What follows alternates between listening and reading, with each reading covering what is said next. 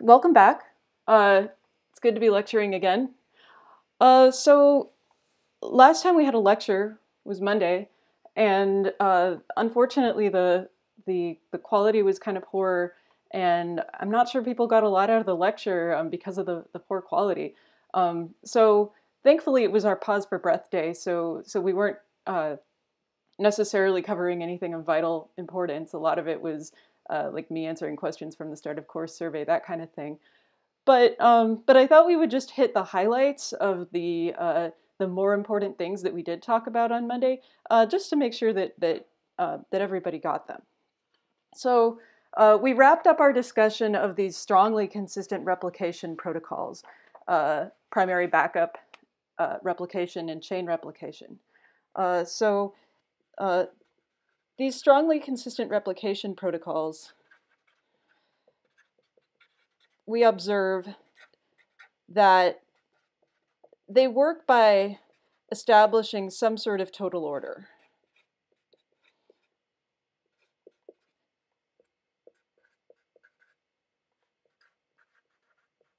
on operations. So primary backup replication we saw Let's do three. We could have three backups and a primary. And the way that it works, uh, as we discussed before, is that the primary, or clients rather, talk to the primary.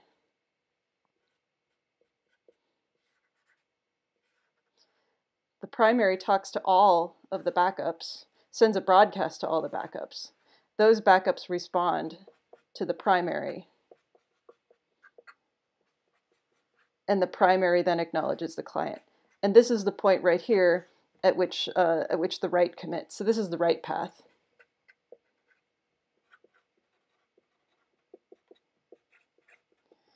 And the read path is that the client uh, just talks to the primary.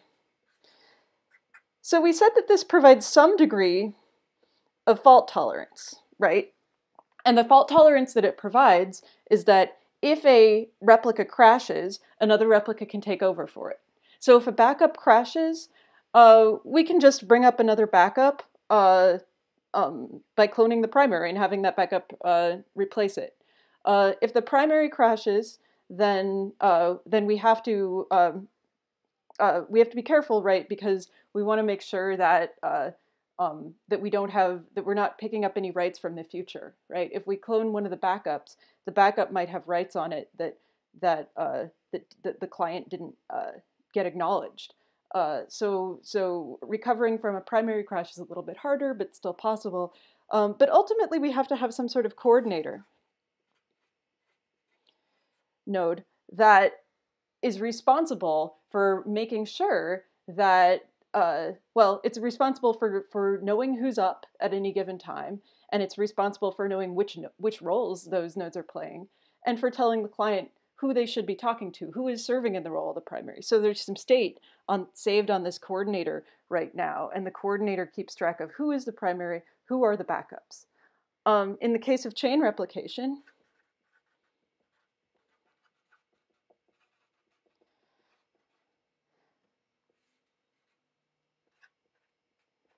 if we have the client, we have a head, let's say that we have, um, a, say two in the middle, and a tail. So the exact number of nodes in the chain is, uh, is, is not important. Uh, just like with primary backup, uh, it's, it's not important. There's, I often draw these diagrams with a specific number, but don't get hung up on that. Um, so in this case, um, the client's going to read uh, from the head, the head is going to, uh, or excuse me, the client's going to write to the head. The head is going to forward that message on. And the tail is going to acknowledge the client. This is the commit point right here.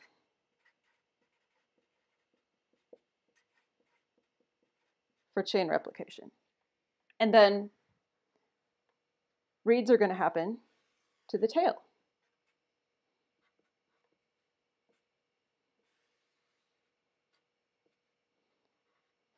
And so here again, you have to have some sort of coordinator who's responsible for knowing when processes fail, perhaps by sending them a ping periodically and seeing if they respond to it, and then uh, declaring that they're they've failed if it doesn't uh, hear back. Uh, and then it also has to know who's playing what role at a given time and making sure that the client knows who the head and the tail are so the client knows who to contact for reads and writes. Um, so what we what we talked about at the end of, of last time is the fact that this this coordinator is is really a, a, a single point of failure, right? If we just have one coordinator process here, if the coordinator fails, uh, everything falls apart. So so what do we do? Well, what you really have to do is have some sort of replication of the coordinator also. And so, in so doing, you have these three processes that behave as though they're a single process. And then you get some fault tolerance for the coordinator. So these processes, you have you you have it's still not great when they fail, right? But uh, but you have some rules that you can follow if one of them crashes. Uh, with the coordinator, um, you really don't want the coordinator to crash. So instead, uh, instead of having a single coordinator process, uh, you have to do something like having some collection of processes that you hope behave as one process. Somebody's asking if this is expensive and slow. Well, yeah. So if you want strong consistency, you ultimately have to rely on something that is going to make these coordinator processes behave as though they're one process. So this is, again, this is if you want strong consistency. So this might be one reason why you might want to avoid having strong consistency, right? Uh, strong consistency isn't always the best choice. Uh, so how do we ensure that these three processes actually behave like they are the same process? And that, that leads us into the next topic uh, that we're going to begin discussing today, uh, which is uh, which is which is consensus. So, and it's interesting. I talked about this a little bit on Monday, but when you look at the chain replication paper, um, they they state an assumption. They say we assume the coordinator doesn't fail, and then they uh, they admit that that's an unrealistic assumption, and they explain that in the actual implementation that they have, um, they do instead have a group of coordinator process like that processes like this that are running a consensus protocol among them to make sure that they are agreement in agreement with one another. So there are times when you really do need consensus. Um, so let's start to talk about those.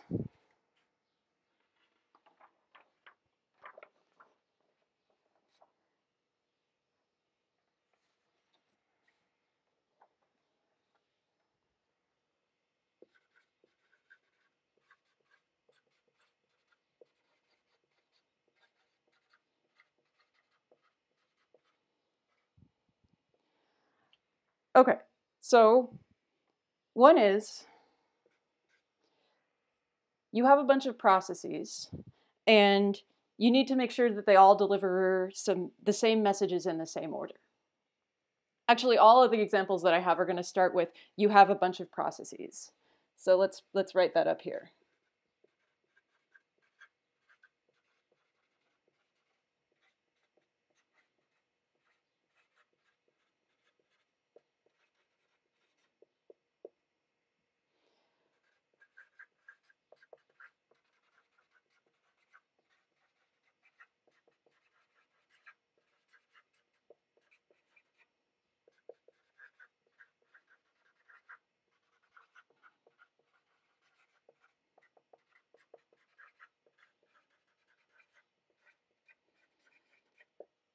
Okay, so that's one situation. Here's another. You have a bunch of processes and you need them all to keep track of which processes exist. You need them all to keep a list of which processes exist. And whenever anyone dies or leaves for whatever reason, everyone's list has to get updated.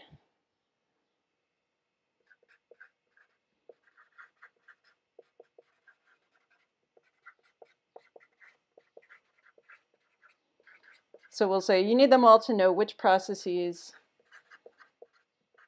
exist and are running. Okay, here's another one. You have a bunch of processes and you want one process to play a particular distinguished role and you want to let every process know about it. So you have a bunch of processes and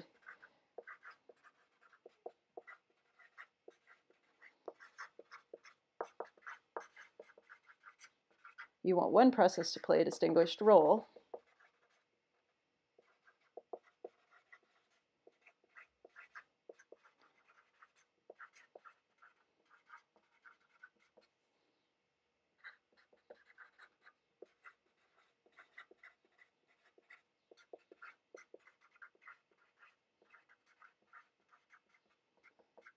And you want other processes to know about it. Here's another one. You have a bunch of processes and you want them to take turns getting mutually exclusive access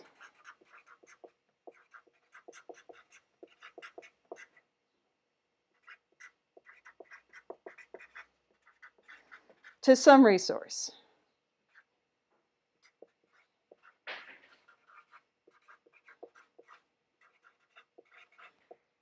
Like a file or something. Here's another situation. You have a bunch of processes and they're all participating in a transaction of some kind.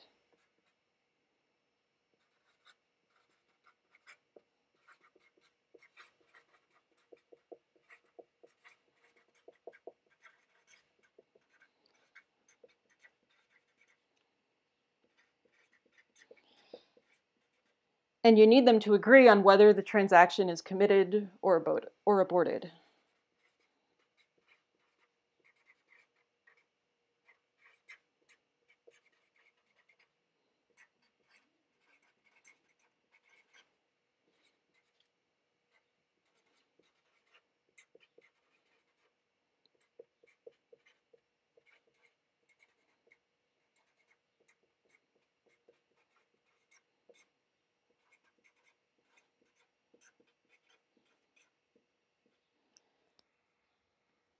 So it turns out that these are all classic distributed systems problems.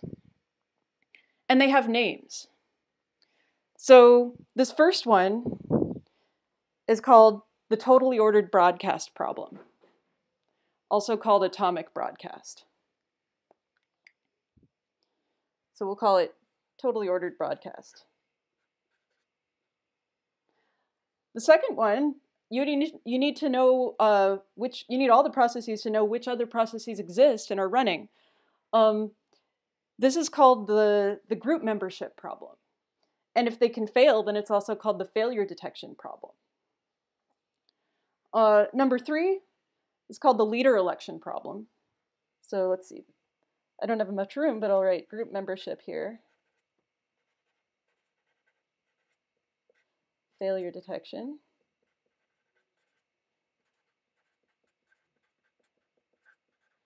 This is leader election.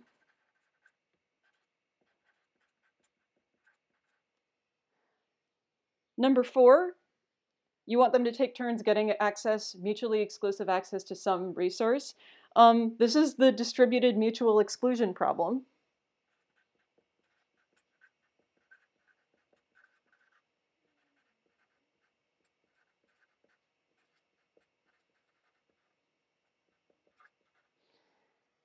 And this last one, they're all participating in transaction and you need them to agree on whether it's committed or aborted.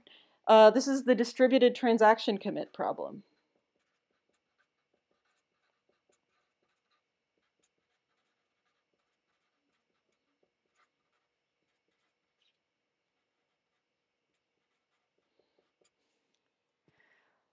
So what do all these problems have in common? What would you say they all have in common?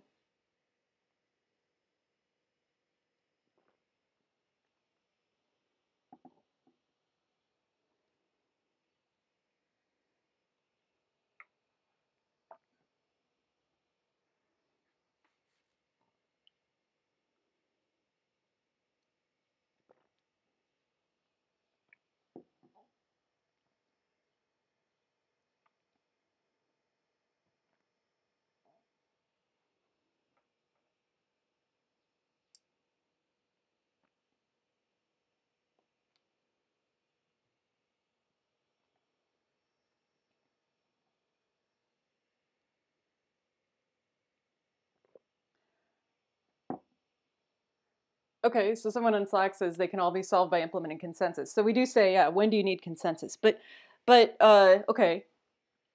So, but they all why why do you need consensus? Well, they all involve this bunch of processes trying to coordinate with one another and reach agreement about something.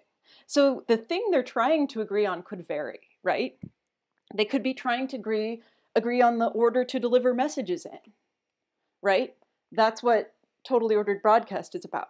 They could be trying to agree on whether or not a process has failed. You have to do that for failure detection. They could be trying to agree on who, who the leader is uh, in leader election. They could be trying to agree on who currently gets access to a shared resource. That's what the distributed mutual exclusion problem does. Or they could be tr trying to agree on whether or not to commit a transaction. So the details vary, but all of these are going to boil down to the consensus problem, which is the problem of getting a group of processes to coordinate and agree on something. So, so let's try to formally define the consensus problem. And I should point out that what makes this hard in distributed systems is faults. So crash faults and omission faults are the ones that we're going to be considering. In fact, mostly just crash faults because it's really hard. It's hard enough even then, even just in the case of crash faults.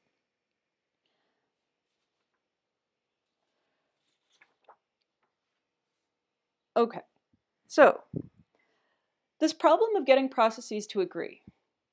Oh, somebody has to see this again.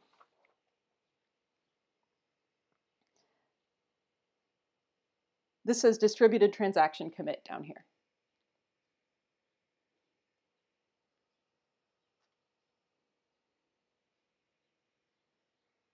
Okay.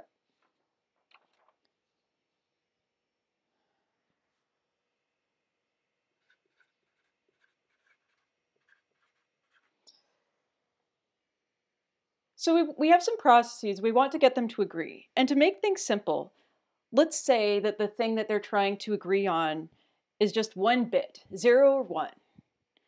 So every process gets to have a say, and every process gets to contribute one bit, zero or one. So we could draw a box like this. So this box implements consensus. And here are the processes that are inputs to it. So we're going to say every process has to uh, gets to contribute a bit.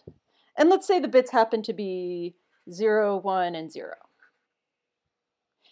The consensus problem is to design a protocol so that everybody comes out agreeing on a value. So it could be this,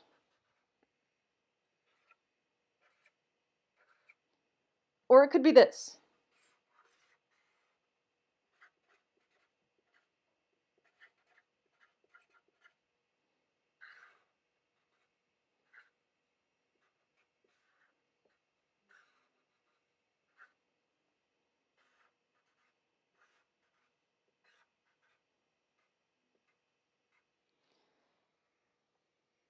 So you might look at this and think, oh, well, that's easy, right?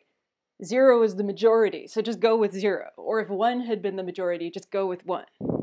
Uh, and indeed, this notion of majority is going to be important.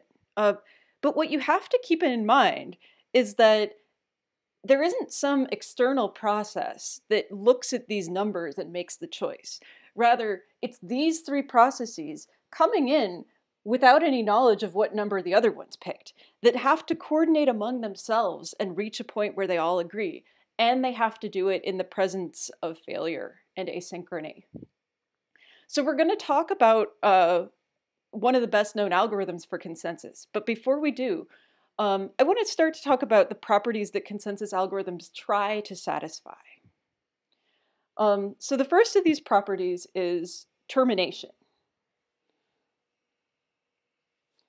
Let's start a new page for this actually.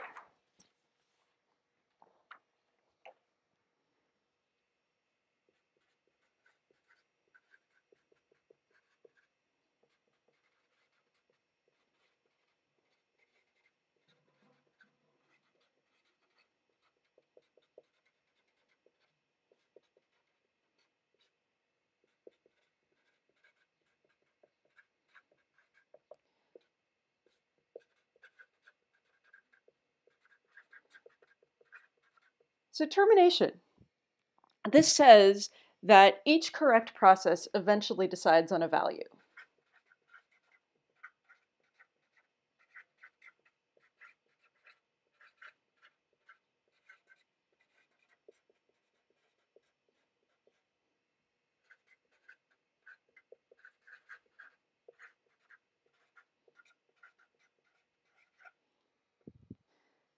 So if termination holds, then you're eventually going to get something out of this consensus box on every line. Note that we haven't even said that what you get on every line is the same yet, just that you get something. So that's what termination gives you. Termination says that eventually you're going to get something on every line.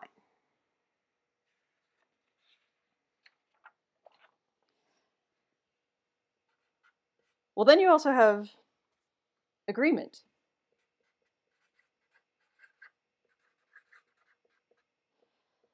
So this says that all correct processes agree on the same value.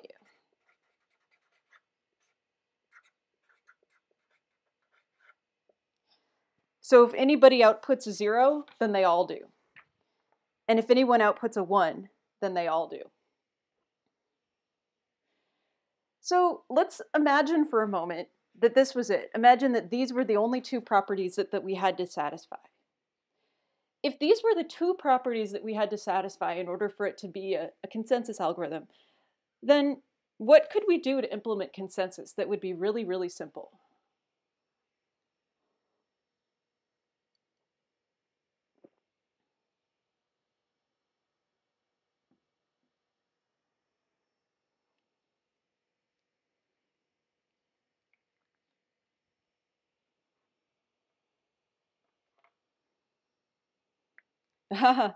Make all the processes crash.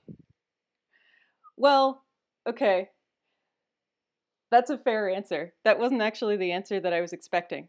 Um, okay, let's let's suppose that the um, other than that. Uh, okay, so how would we implement consensus? How would we make them all agree on the value on a value if these are if these are the only two properties that we have to satisfy?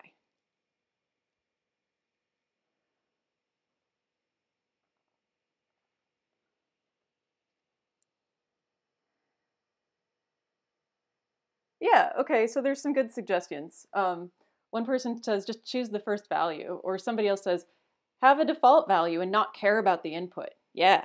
So, yeah, you could just say have everybody output zero, ignore the input, or have everyone output one. There, consensus, solved. Well, we can't do that. So we have to have a third property. Um, this is called, I'm going to call it validity.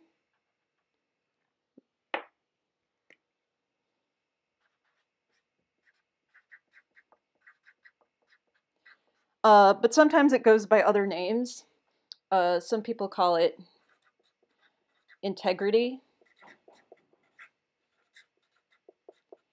Some people call it non-triviality.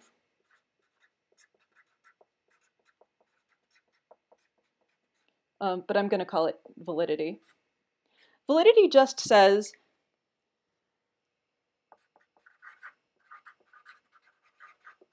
the agreed upon value must be one of the proposed values.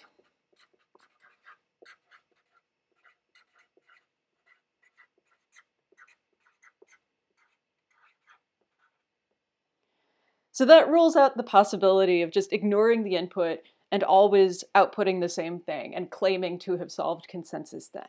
Okay, so termination, agreement, validity.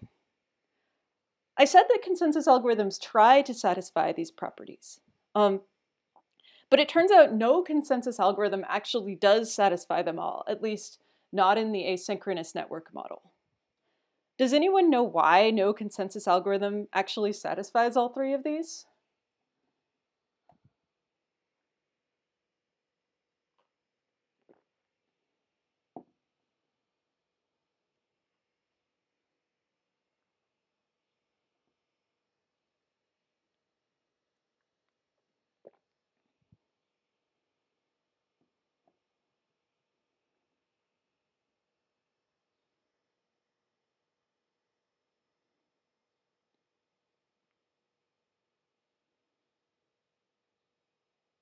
So the short answer is because it's impossible.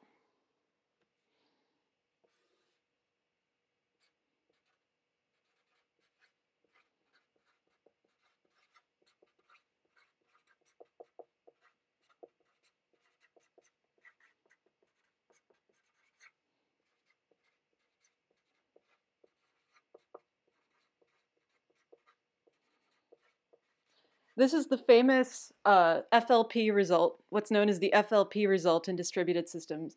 It's called FLP uh, because it was proved uh, by Michael Fischer, Nancy Lynch, and Michael Paterson.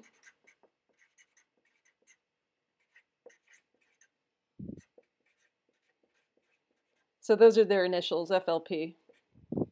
Uh, this came from their 1983 paper. So it says that you can't have all of these properties be true uh, in the asynchronous network model and the crash fault model.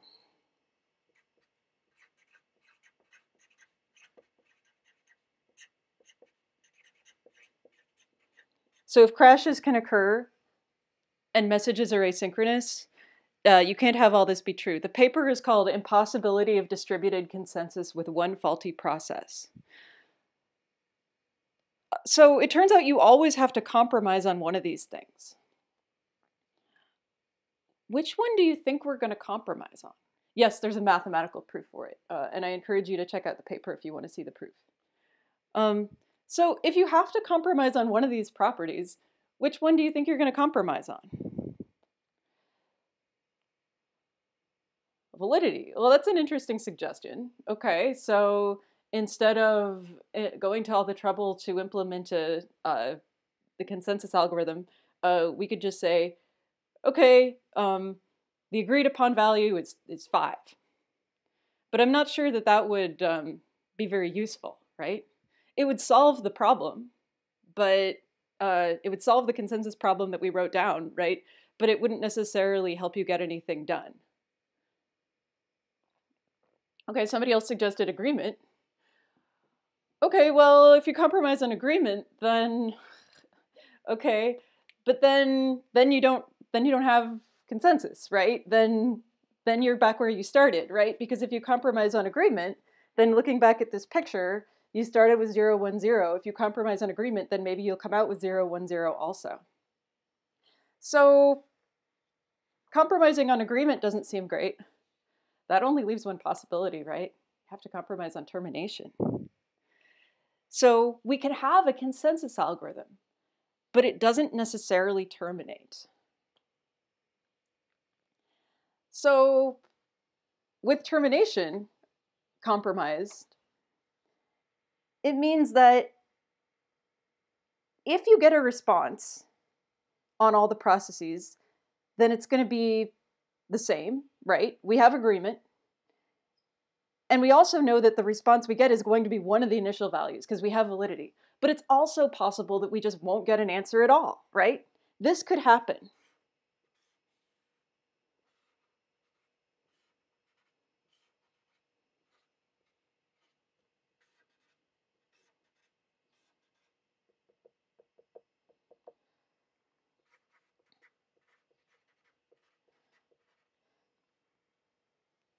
So non-termination could happen, and we have to be okay with that. And if a run of the consensus protocol doesn't terminate, at some point we have to shrug and say, okay, it's not terminating. Let's try again. And of course, that run might not terminate either. Okay. So with that, I think we're almost ready to start talking about an actual consensus algorithm. Um, let's do a quiz question first.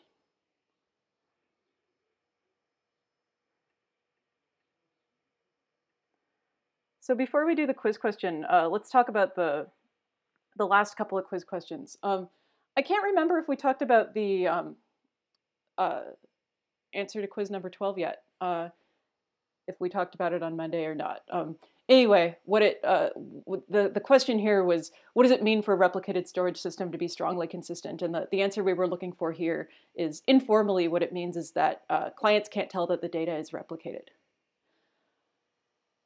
So for quiz number 13, we, we said this is about uh, chain replication versus primary backup. So we said throughput, if throughput is number of actions completed per unit of time, when does chain replication provide better write throughput than primary backup replication? Uh, so the answer here was if you have a mix of writes and reads, because if you just had if you just had writes, uh, then they're all going to be hitting the head node. If you just had reads, they're all going to be hitting the tail node. So then there's no in, uh, uh advantage to using chain replication versus primary backup. So you have to have a mix of reads and writes. Uh, and furthermore, the particular mix of reads and writes that seems to be most advantageous for chain replication is if you have uh, about 10 or 15% writes and the rest reads. And that's what the uh, empirical evaluation in the chain replication paper bears out. So those are the circumstances when chain replication provides better write throughput, when your balance of writes and reads is 10 or 15% writes and the rest reads. That's what we were looking for there. All right, on to today's quiz question. And the form should be open. I will send out the link.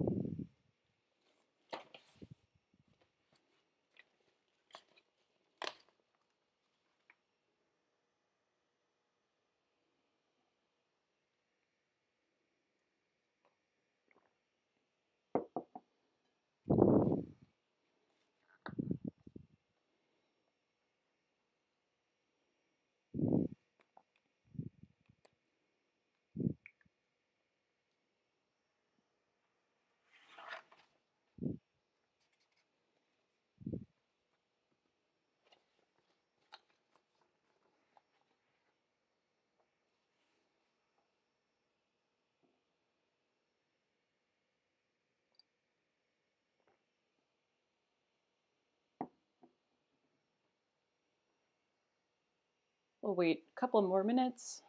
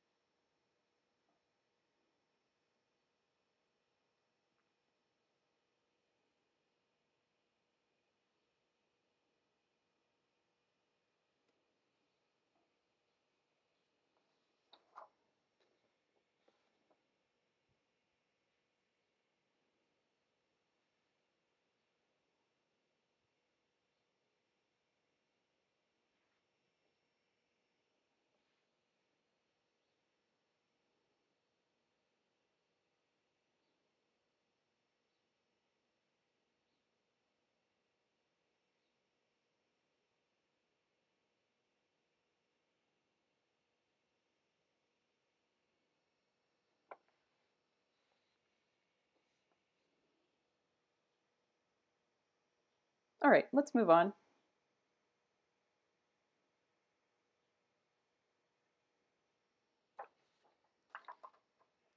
Uh, somebody asked, uh, what's the difference between termination and validity? So, so here's an example of a violation of validity.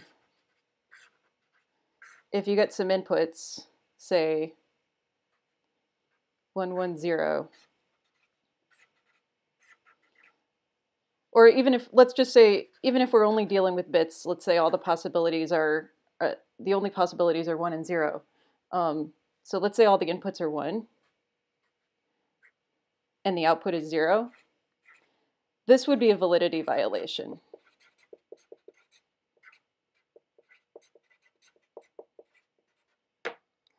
Um, a termination violation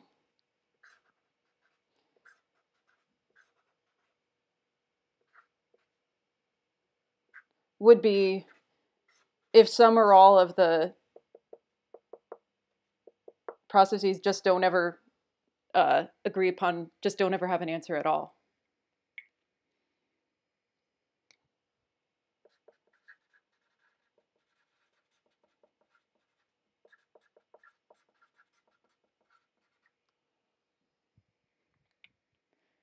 All right. So I think we're ready now to start talking about uh, an actual consensus algorithm.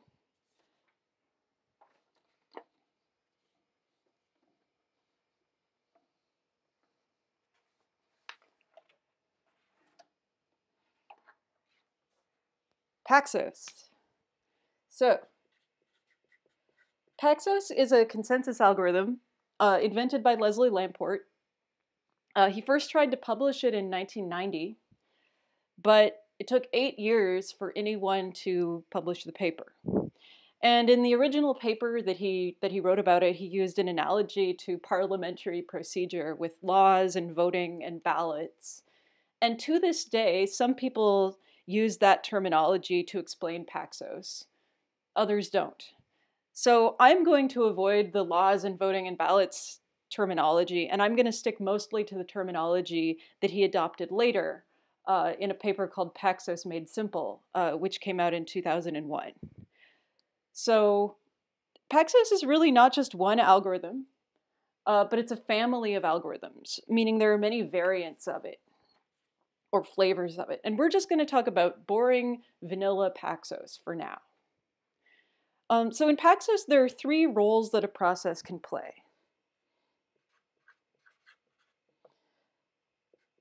Proposer,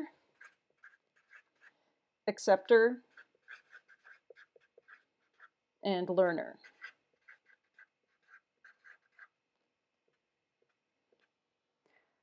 So proposers propose values.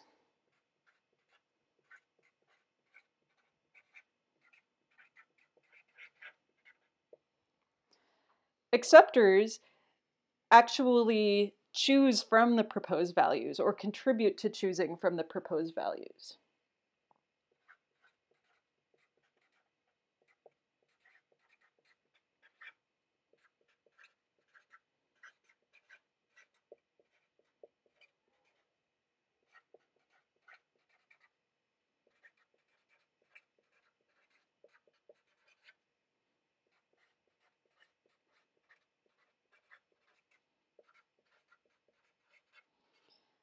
And learners learn the agreed upon value.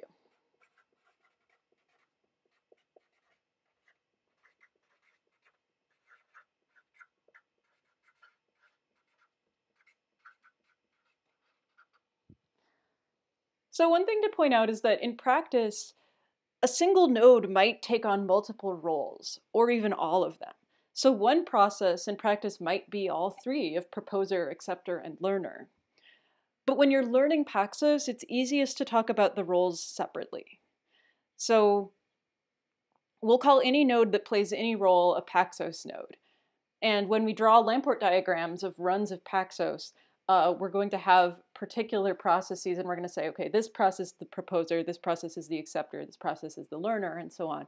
Um, but in practice, there might be one machine uh, that's actually playing multiple roles. One thing uh, the Paxos nodes, uh, any node that's playing any role, one thing that they have to know is how many acceptors a majority of acceptors is. So for example, if there are three acceptors, a majority of acceptors is two.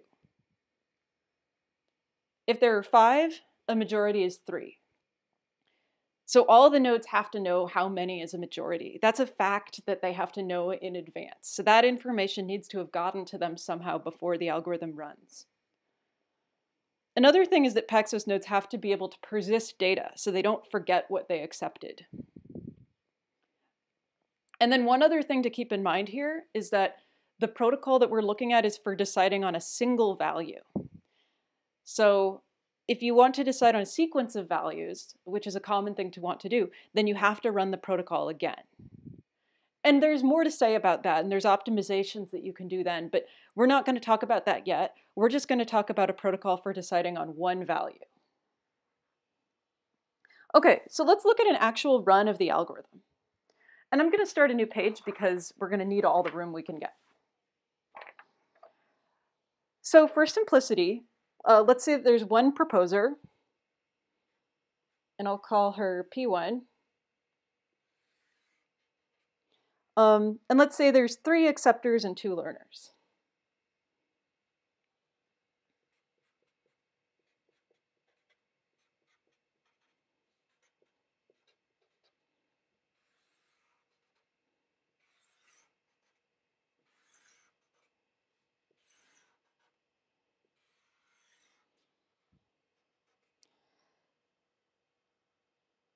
So in this case, uh, what would uh, what would a majority of acceptors be?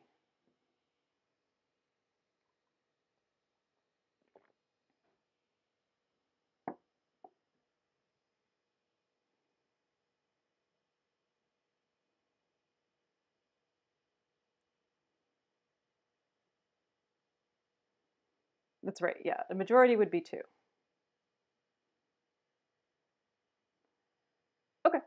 So let's say that our proposer, P1, wants to propose a value. So the first thing that it has to do is send what's called a prepare message to a majority, at least, at least a majority of acceptors. So it's going to send a message that's called prepare, and that message is going to come along with what it calls the proposal number the proposal number has to be unique. So no one else can use it. So if you had multiple proposers, you might establish rules in advance. Like if you had two proposers, maybe you would say that one proposer could only use odd numbered proposal numbers and the other one could only use even numbered proposal numbers. That has to be established in advance. Something else about the proposal number is it also has to be higher than any that the, that the proposer has tried before. So it has to be able to store the proposal numbers it's used and make sure not to reuse them. So we're going to say that proposer 1 sends a, a prepare message with a proposal number. Let's say that the proposal number is 5. And it's going to send it to a majority of acceptors. So we'll say this message is prepare 5. And let's say that it gets sent to acceptor 1 and acceptor 2.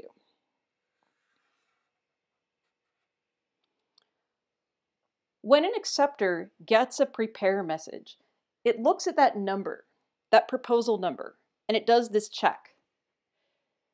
Did I previously promise to ignore requests with this proposal number? If it did, then it ignores it. If no, it now promises to ignore any request that has a proposal number lower than that. So it replies to the proposer with a promise message. So in this case, it's going to be promise 5.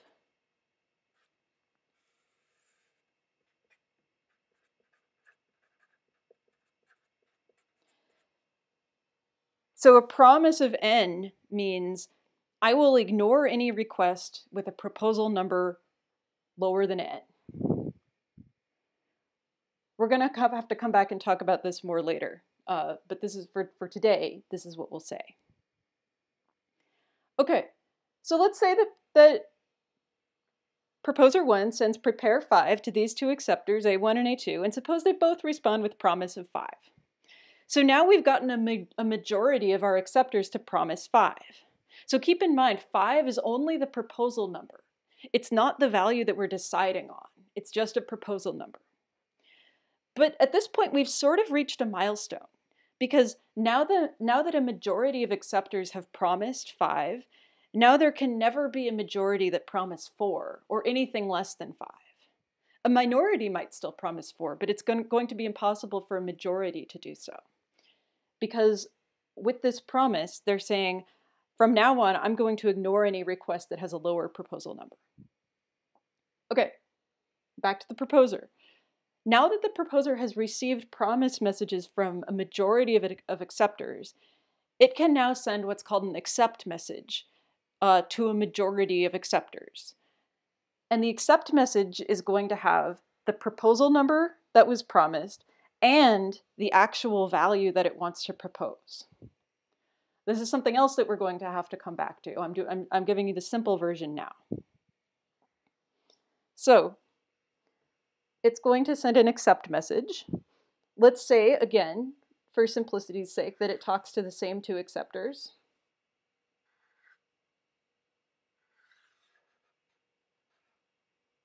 And the accept message is going to have the proposal number, that's 5 in this case. And then there's the actual value that we're proposing, which we haven't started to talk about yet. Let's say that the value we're proposing is 0. So our accept message will be accept 5, 0, and we'll send it to a majority of acceptors, at least a majority of acceptors. We'll just say that they happen to be the same ones we've been talking to so far. Now what?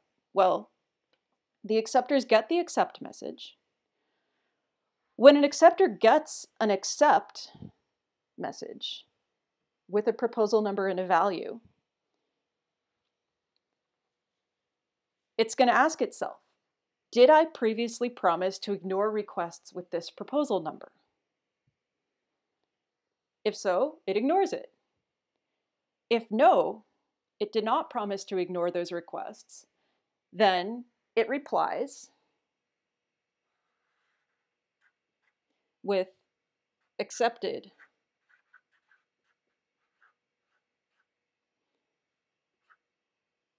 and the proposal number and the value.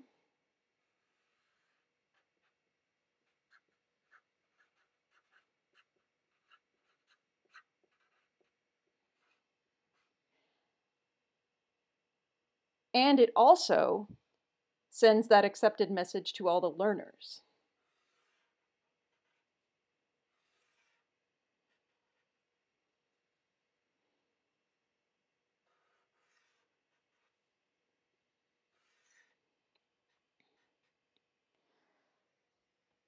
So the point, when a majority of acceptors send these accepted messages for a particular proposal number and a particular value, is the point when consensus is reached.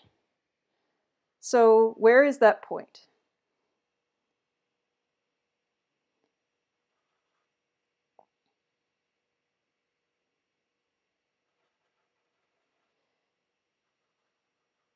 So right here is the point where they send those messages.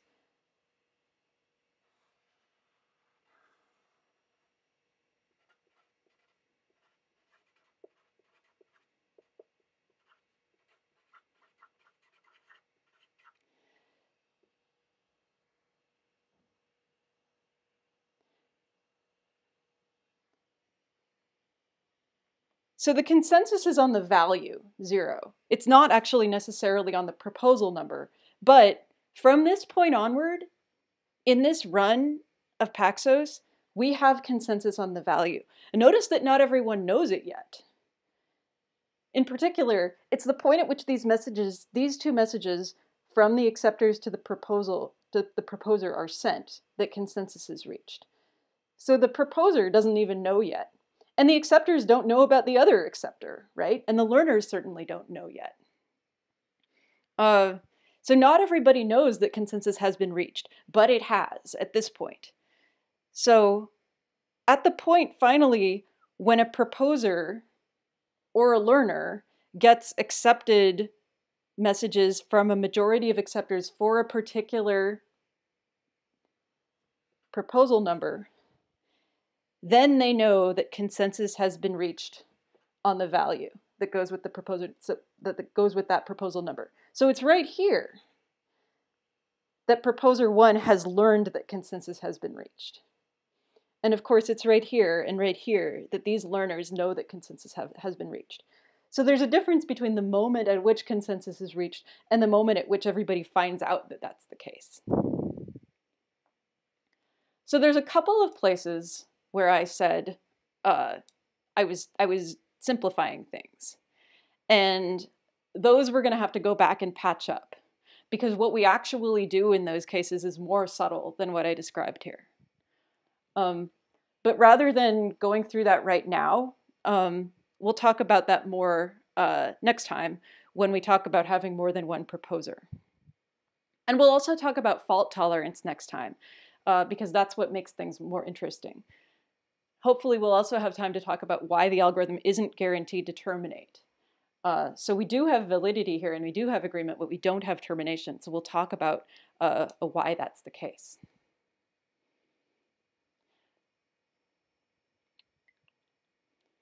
All right, I'm looking back at chat for questions.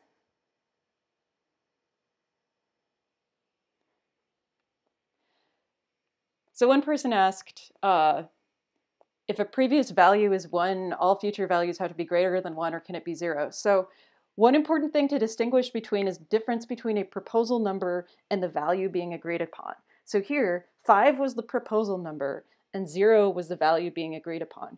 Zero was just a value uh, that I chose, right? I could have also picked one, um, or I could have picked uh, the string cat, or I could have picked something else. Um, that uh, that's kind of uh, irrelevant here.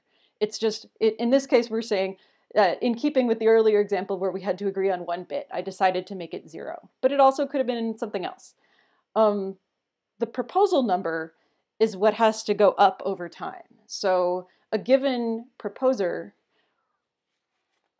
when it sends a particular proposal number, not only has, does it have to be unique, um, but it also has to be higher than any that that proposer has tried before.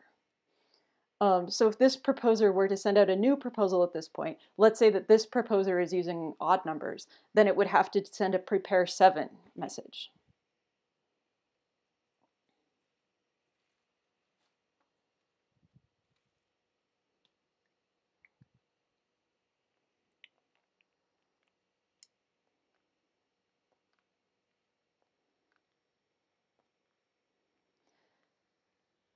So somebody asked, how, uh, when do acceptors or how do acceptors find out that consensus is reached?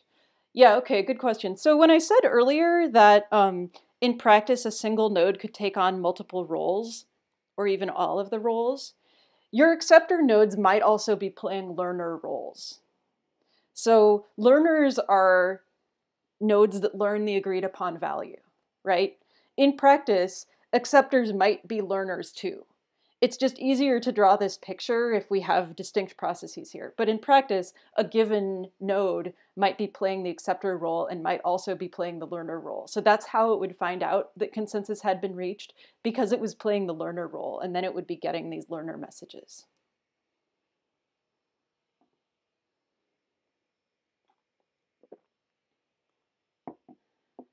So if you want a node to be able to find out about the agreed upon value, then it had better be a learner. Same goes for, so this proposer is going to receive accepted messages from the majority of acceptors, but if you had some other proposer somewhere, if you wanted that proposer to find out about the, the agreed upon value, if there was an agreed upon value, then that node had better actually be playing the learner role as well.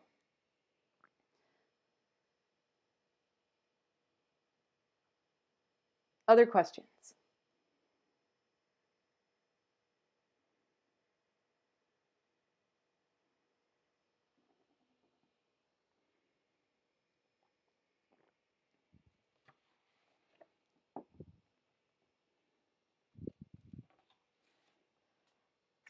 Okay, so I want to try to write down the steps of the algorithm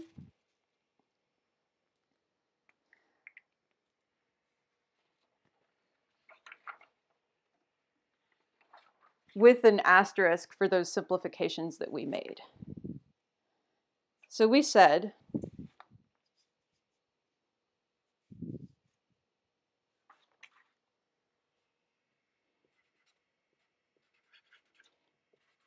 when an acceptor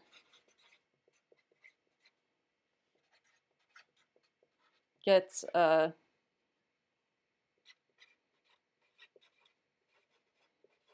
gets a prepare n message.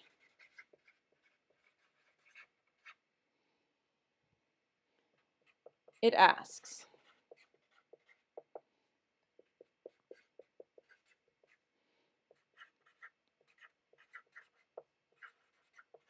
Did I previously promise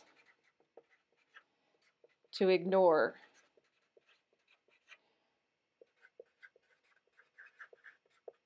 requests with this proposal number?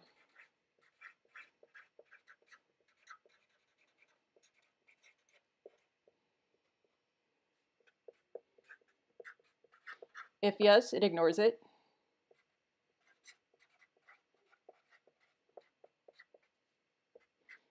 If no, it now promises to ignore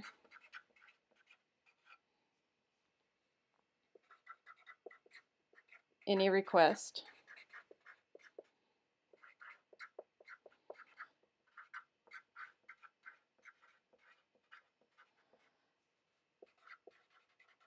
with a proposal number lower than n.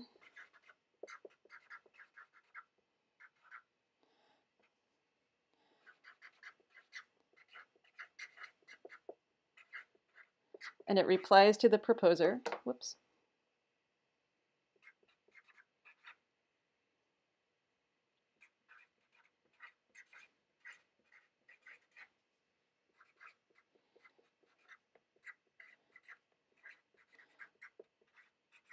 with a promise n message. I'm going to put an asterisk here.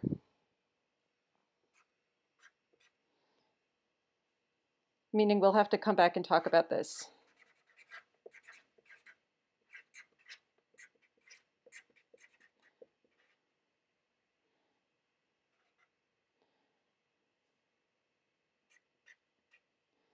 because it's actually a little bit more subtle than this. And then the other rule that we wrote down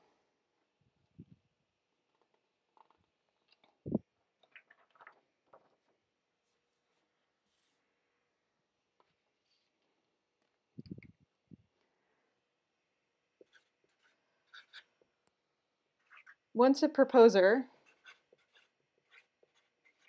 has received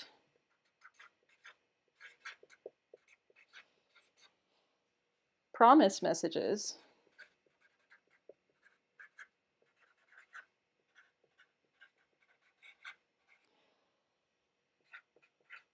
For a particular proposal number.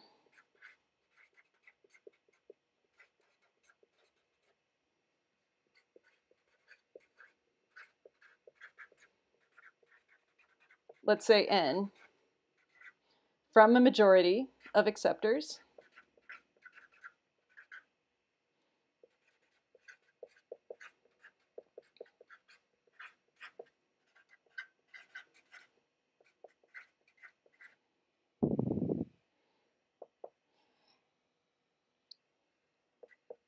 it sends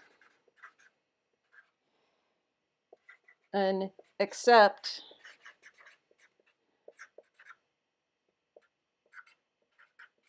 message to majority of acceptors, where n here is the proposal number that was promised.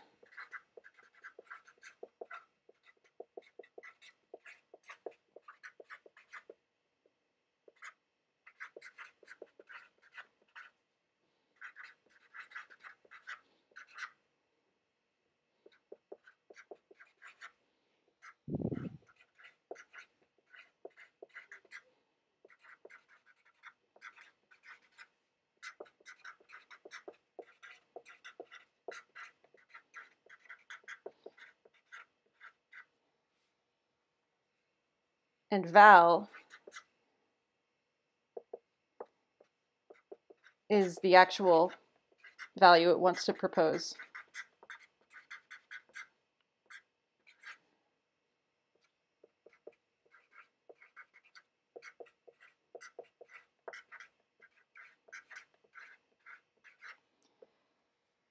And I'm going to put two asterisks here because we have to come back to this too next time.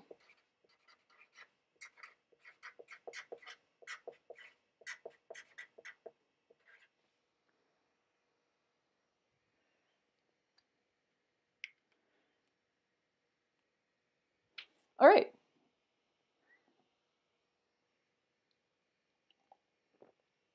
So we're about out of time for today. You might be wondering why this algorithm, why this is so complicated, right? And part of the reason it's so complicated is because it has to be tolerant of failure. So we'll start to talk about that next time. We'll start to talk about what happens uh, when processes in this that are part of this algorithm fail. Uh, somebody wanted to see this page again? Sure.